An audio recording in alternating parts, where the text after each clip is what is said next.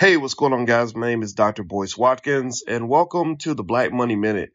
Uh, a lot of you have had conversations about Big Pharma, and uh, I thought it would be fun to explain exactly what people mean when they talk about Big Pharma and why uh, every person who understands anything about economics and money, particularly myself, I'm a finance professor, as you know, would have some concerns about Big Pharma and whether or not the money overwhelms the incentive to do the right thing. So let me give you some quick statistics that I got from a site called emedcert.com that will help give you some perspective on big pharma, why some people don't trust it, and why you may want to do your research and, and question whether or not their goal is to make you healthy or to make sure their bank account stays healthy.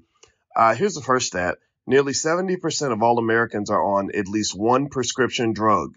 Over half of Americans take two prescription drugs and 20% of Americans are on five prescription drugs, according to the Mayo Clinic. For every $1 pharmaceutical companies spend on R&D for a new drug, research and development, they spend $19 on advertising. Okay, that's pretty cool. Interesting. 51% of drugs prescribed to Americans are generics, but they only make 8% of the total amount spent on drugs. The other 49% are drugs with exclusive marketing rights, which makes up 92% of the total drug spending. So that kind of says that money and marketing are big in the drug game. Uh, you know, this Pablo Escobar, big worm from the movie Friday kind of thing is going on where they're trying to make that money. The next stat that's really interesting is that the percentage markup of Xanax is 570,000%. That means that the consumer cost per 100 tablets is $137.79, while the cost of the active ingredients is about two pennies, uh, actually 2.4 cents to be precise. In 2013, the total amount spent on drugs was 329.2 billion.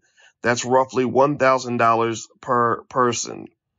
In the United States, the cost of prescription drugs rises 12% every year, far greater than the rate of inflation.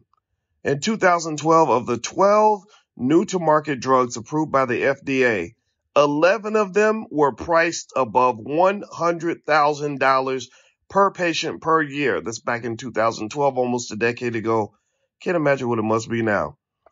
Next, the worldwide pharmaceutical market revenue in 2013 was $980 billion, almost twice as much as it was only 10 years before, which was 498 billion. Next, Check this out. This is going to freak you out. Over 70 million Americans take mind altering drugs. So that means that you got 70 million people out here who are not in their right mind. That's a scary fact just because. Uh, last one is one in four senior citizens skip doses of their prescribed medications in an attempt to reduce the amount of money they have to spend on drugs. So now, if you ever hear somebody say, I don't trust Big Pharma, I'm not here to tell you to agree or disagree. I'm just here to tell you that maybe they have a point. My name is Dr. Boyce Watkins. Thank you for listening to the Black Money Minute. If you'd like to learn more about wealth and economics, join us at theblackbusinessschool.com. We have 148,000 students all around the world, and we are here to make sure that black wealth is our number one priority and that we build the community for the future. God bless you. Have a great day. I'll see you soon. Bye bye.